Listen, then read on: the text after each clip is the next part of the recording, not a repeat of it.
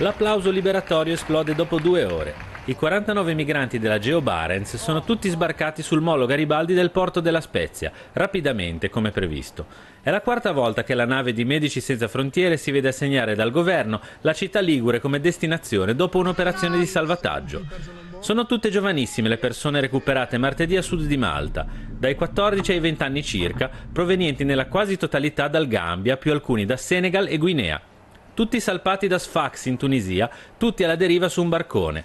Due di loro sono stati recuperati su una zattera di fortuna, dopo aver perso un terzo compagno di viaggio inghiottito dal mare. Non è la sola storia tragica ascoltata dall'equipaggio della nave.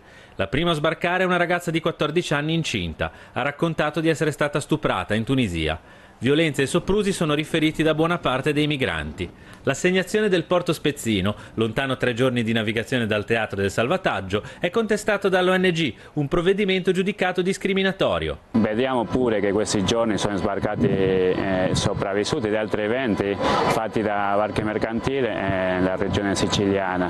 Allora sicuramente si vede una differenza, una discrezionalità, eh, dipende chi è l'attore la, che, che soccorre. A differenza di quanto accaduto nei precedenti sbarchi alla Spezia, stavolta le strutture di accoglienza che ospiteranno i migranti della Geo Barents saranno tutte in Liguria. Tutte le volte che c'è uno sbarco il Ministero dell'Interno li divide sulla base delle regioni e poi sugli accordi con Genova in base alla popolazione, alla dimensione del territorio vengono poi uh, ridistribuiti. Dopo il fotosegnalamento, le visite sanitarie di routine e i pasti caldi offerti da un ristorante del centro città, arriveranno i pullman per i trasferimenti. Tutto entro stasera.